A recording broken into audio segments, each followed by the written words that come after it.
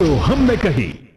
आपको समस्याएँ सुनाते सुनाते गाँव वालों ने घेर लिया। डीएम साहब जैसे तैसे वहाँ से बचकर निकले।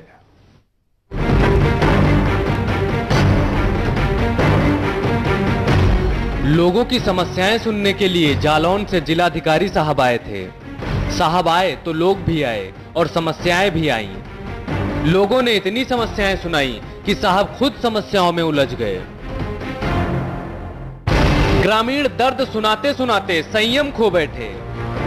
मेरा जेब कार्ड रात में क्या गई मैं दूँगा। फिर मैं कहा नहीं दिया इन दोनों फर्जी। भरा तो हैं? फर्जी भरते हैं। बड़े बड़े आदमियों के भर रहे हैं। गरीबों का पैसा काट रहे हैं। उरई के उप जिलाधिकारी आनंद शुक्ला ने डीएम की गाड़ी घेरने वाले ग्रामीणों को समझा बुझाकर हटाने का प्रयास किया।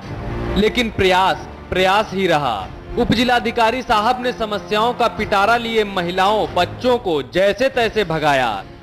पहले लोगों को भगाया, फिर खुद भागे, लेकिन समस्याएँ वही रह गईं, उसी चौपाल में।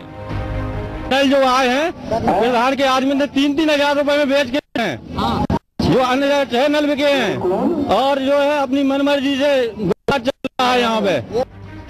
समस्याओं के समंदर में उतरकर लोगों की लहरों के आगे न टिकने वाले डीएम साहब ने प्रधान को हटाने की मांग और जॉब कार्ड की समस्याएँ सुलझाने का भरोसा दिलाया है। कि हम प्राथमिकता पर जाँच कराएँगे। अगर उसके ऊपर आएँगे तो उसके ऊपर कार्रवाई होगी। भरोसे की खुराक ग्रामीणों को मिल गई है। बिना हंगामे के गाँव वालों की बात कोई नहीं सुनता। आखिर आखिरी पंक्ति में बैठे ग्रामीणों की उपेक्षा देश में कब तक होती रहेगी? संजय गुप्ता, जालौन, समाचार प्लस।